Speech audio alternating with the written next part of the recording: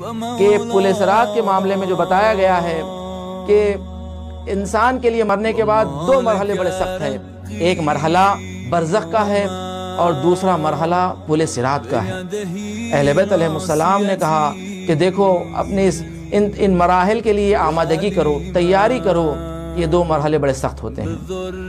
एक बरज़ख का मसला है और दूसरा मसला पुलिस रात का मसला है। तो मूसा ने सवाल किया परवदिगार बता मैं पुलिस सिराज से आसानी से गुजरना चाहता हूँ। तो परवदिगार ने फरमाया, मूसा, अगर पुलिस सिराज से आसानी से गुजरना चाहते हो सदका दो। ग्रामी किस कदर अजमत है सदक़े की? और जिस कदर हो सके, सदका करें, खैरात करें। और सदका जो रिवायात में और कुरानी टर्मिनोलॉजी में मिलता है कि सदक़े के माने हैं कि कोई नेकी करना, किसी के साथ कोई हदिया करना, कोई तोहफा देना। आप चाह सकते हैं कि आज ही की शब हम किसी को एक नेकी कर दें, माली एतबार से किसी को हेल्प कर दें, अपने अज़ीज़ अखारिब में, अपने भाइयों के साथ, अपने बहनों के साथ, अपने वालदेन, के जिसके वालदेन ज़िंदा है, उनके साथ नेकी करिए। आप उन्हें तोहफा दीजिए।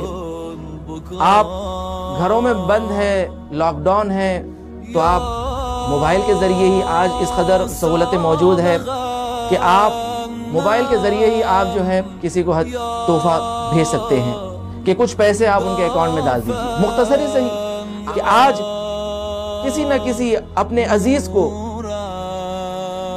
मुख्तसर सही सही आप एक हदिया उन्हें कर दीजिए। किसी का मोबाइल रिचार्ज कर दीजिए। किसी के मोबाइल में आप ट्रांसफ़र कर दीजिए पैसे। ये सब सदखात में शुमार होते हैं क्या इस तरीके से बहुत सारे ऑप्शन अगर इंसान सोचे, उसे नसीब हो सकते हैं।